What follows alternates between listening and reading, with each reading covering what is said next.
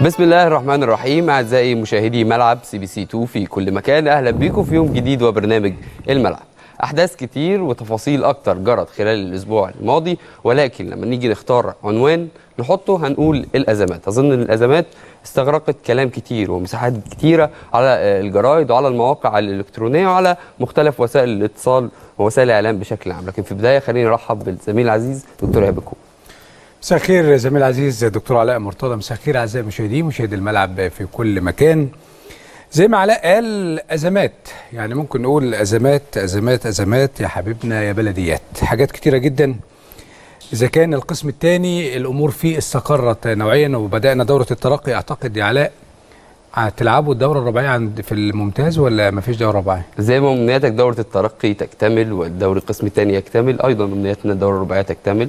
ودورة تحديد الهابط الثالث اللي هيكون موجود من التاسع المركز ال 12 ولكن الغريب في ده كله إن إحنا بنسيب دايما الحاجة الأهم وال والمفروض نوليها الاهتمام زي المنتخبات وزي الأندية اللي بتشارك في أفريقيا وزي أبطالنا الشباب اللي كانوا في دورة الألعاب الأفريقية. أظن إن دول أولى بالكلام عنهم وإن إحنا نفرد لهم اهتمام ونحاول إن إحنا نحفزهم ونشجعهم على ما هو قادم ده المفروض. بس أنت قلت لي جملة جميلة جدا عجبتني قوي من شوية. بتقول لي ودورة الهابط. مظبوط. دي لازم ده إحنا في فيلم هابط. الفترة اللي فاتت دي كلها. بالفعل يعني. في فيلم هابط. يعني. الصراع اللي حاصل دلوقتي على الساحة الرياضية مم. ما بين لجنة الأندية وما بين اتحاد الكورة ده فيلم هابط. ده معناها إن إحنا ما عندناش قوانين. والأطراف الثانية جديدة. يعني رابطة النقاد الرياضيين بقت طرف دلوقتي في أزمات. هو مش مش بتفتعل أزمة مش بقصد إنها تفتعل أزمة ولكن جزء من الأزمة اللي موجودة. عندنا مشاكل بسبب الصفقات بسبب الأندية. في البعض دايما بيعترف بنظرية المؤامرة والانتقامية وإن كل واحد بيحاول إنه يشوف مصالحه على حساب. ولكن إحنا بنتكلم في الآخر إن إحنا في مرحلة فيها تصالح. فيها صفحة جديدة فيها نقطة من أول السطر.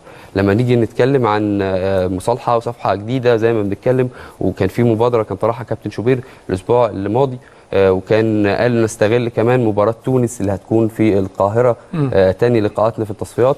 أظن إنها فرصة كبيرة فرصة جيدة إن الكل يتكاتف ويتوائم من أجل صالح عام بكل تأكيد ده اللي نفسنا فيه.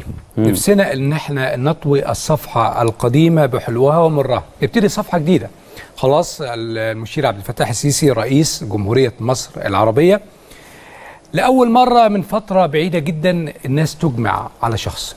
الناس مؤمنة بشخص كلنا لازم نكون خلفه هو هيؤدي اليمين يوم الأحد القادم يبقى أول ما بيؤدي اليمين علاء لازم م. الصفحة ديت كده نطويها نحطها على جنب بالفعل. يبقى في قانون بيحركنا في مبادئ بنمشي عليها.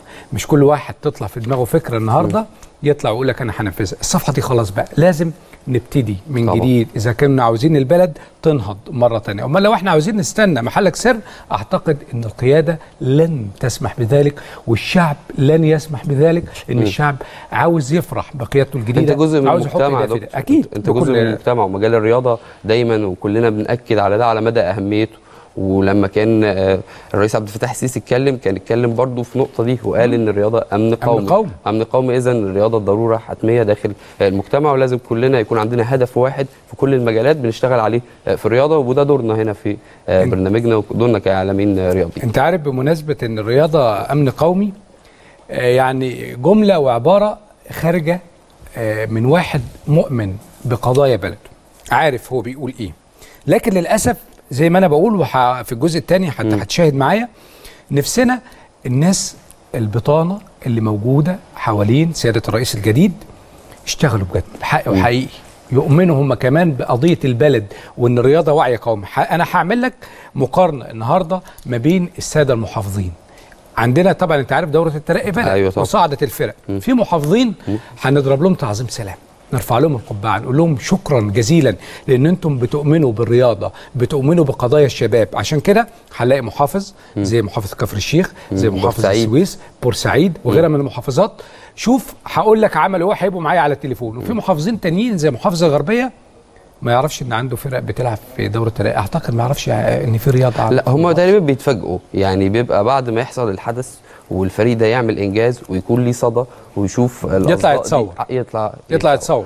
جزء فاكر لما كنا بنتكلم يا دكتور في أوقات سابقة كنا بنتكلم عن ال- الركوب على الإنجاز ومحاولة دخول الكادر وإن أنت إزاي تقدر آه، أنت بعد إنجاز وتكون مو- ما شاركتش فيه فعليا غير ب- بالمعلومة بالتليفون كده جالك آه، الأخبار وفي الآخر بعد ما تفوق على الإنجاز ده تلاقي تلاقيه موجود في الكادر وبيتصور. بس خلاص الناس آه، بقى في وعي بقى في إدراك. بقى في حس. ما عادش حد بقى بينخدع. آه، اللي اللي كان معاك من بداية المشوار من بداية السطر من بداية السلم هو ده اللي انت إيدك في ايده بتقول له شكرا انت عملت معايا إنجاز. ولكن اللي هيجي يركب الموجة في النهاية خلاص الناس لفظته عرفته.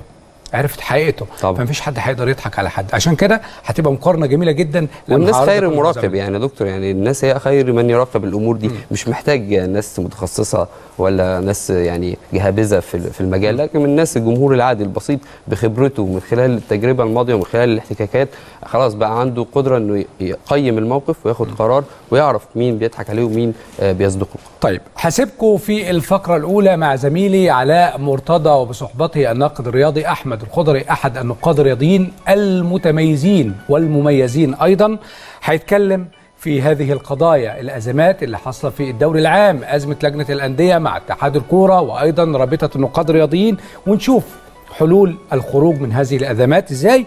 وبعد الفقرة الأولى هيكون ضيفي في الفقرة الثانية السيد عادل عبيد رئيس نادي سرسليان اللي صعد إلى دورة الترقي والكابتن عماد دربالة المدير الفني السابق للشرقية والحالي لفريق دمياط هنشوف بقى دورة الترقي الماتشات اللي اتلعبت ونبارك أيضا للي صعدوا هذا الأسبوع للترقي. وهنشوف آه، يعني مفاجآت كتيرة جدا هتكون معانا ومداخلات هاتفية. ده كله هيكون في الجزء الثاني لكن الجزء الأول بصحبة زميلي علاء مرتضى والناقد الرياضي أحمد الخضري. لكن بعد الفاصل.